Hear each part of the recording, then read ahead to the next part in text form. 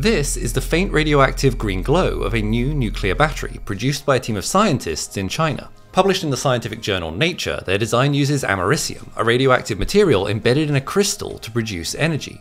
As the americium decays, the alpha particles it produces interact with the specialized polymer crystal and produce a green luminous glow.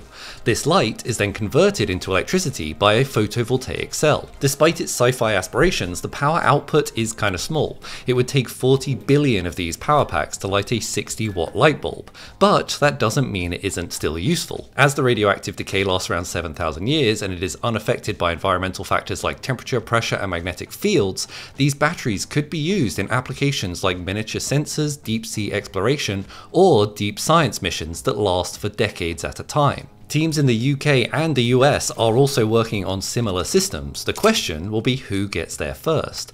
If you like science and tech breakthroughs, follow for more.